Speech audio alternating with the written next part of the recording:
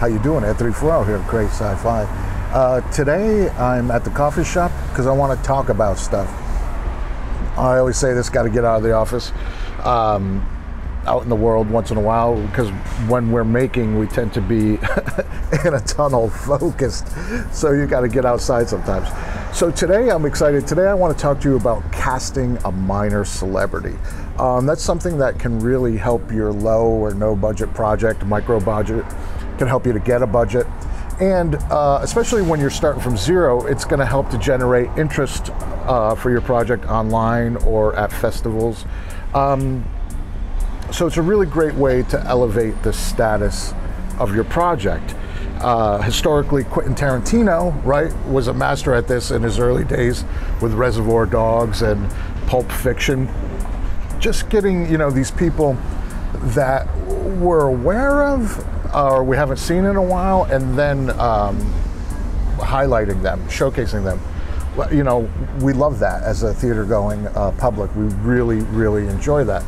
So, um, what I'm about to talk about is, is casting a, a, a, minor celebrity, right? And it's really a boon to get people like that um, into your show. I mean, I think about these roles when casting like a boss or somebody of high status that we check in with occasionally, and they have a big hand in the plot, but they don't necessarily have to be there all the time. And it's twofold. Also, too, with these people, I always try to write it where we can just come in one day and shoot them out and then pepper that performance throughout the whole film or throughout the whole series. But here's the important information. This is what you need. So you're going to have to have IMDb Pro or know somebody that has it.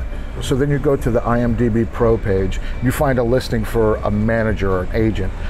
Manager is preferable because they tend to have a more personal relationship with their clients. If it's just an agent, then of course use the agent.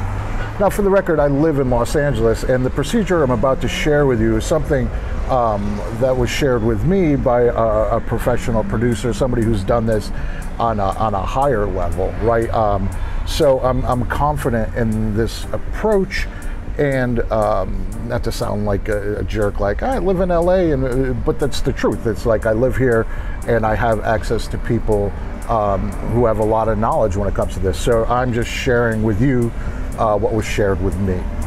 So in a nutshell, basically what it is is the manager is the gatekeeper to the talent that you want to access. And people don't think about that. It's really a two-pronged approach you want this particular actor, but first you have to work on their manager. So think about it. Like uh, the manager gets 10%, 15%, whatever they get.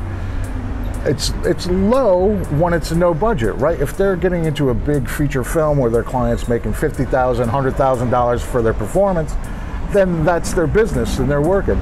I have this script I'm passionate about. I wrote it specifically for this actor. It's going to be great. It's an awesome role for them.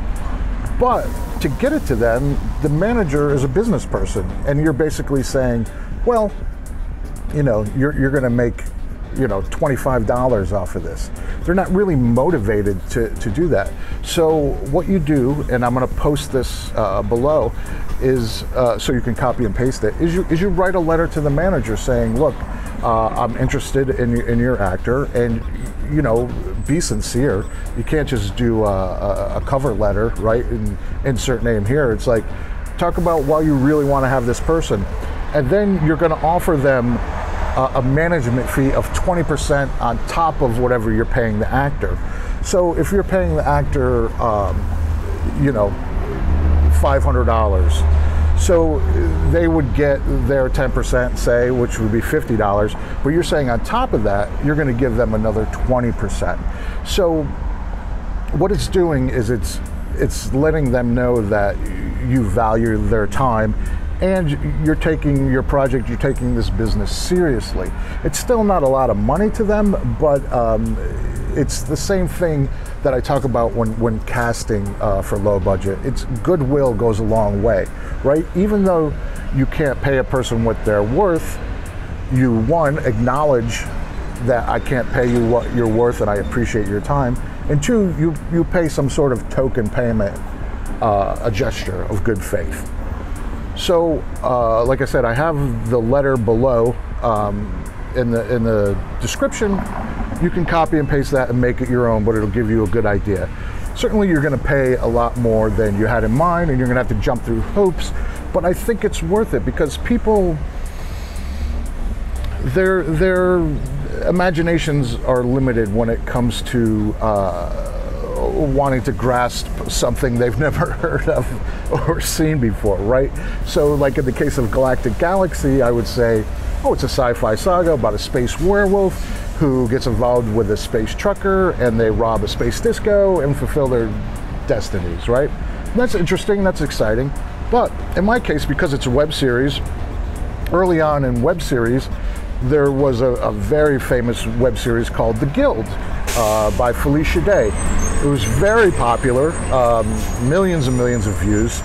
And there was one particular character on that show called Vork and I really liked that character. And then I really liked the actor.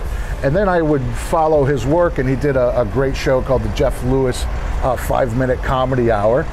Um, so he's a very talented guy, and I started writing my role with him in mind. And it's a cliche, but I've talked about this before. I, I wrote that role with him in mind, and I presented it to him as such. And you know, I had legitimately watched all his work. I was a fan, and I offered him the role. Um, it was a, a little bit more than I had in the budget, but I thought it was worth it with him. And he's fantastic, and you can see that series. It's done now. Also, too, you might want to consider uh, beyond an actor. I had uh, one of our writing team on Galactic Galaxy was Charles Horn, who was a writer on Robot Chicken. So what does this do for me? So now when I'm pitching my show, I say it's a sci-fi comedy, and I say, "Do you remember that show, The Guild?" And they say, oh yeah. I say, oh well, Jeff Lewis from the Guild in that. They say, ah. I say, did you ever see Robot Chicken? They go, oh yeah, yeah. I go, oh, we had one of the writers on board. So these things just help, especially when you're starting out, right? It's, I, I, I wish it wasn't that way, but it's the way it is, and it helps. Anything that helps uh, to move the ball forward, right? And I'm just sharing the information that I have with you. Um, as always, I hope you found this video useful. Please like, share, subscribe, leave a comment. I love to read the comments, and be sure to sign up for the email newsletter. And remember the um, the letter that I talk about. I, I put a rough version of that in the description below to help you get started. And just remember, I'm here to help make sci-fi.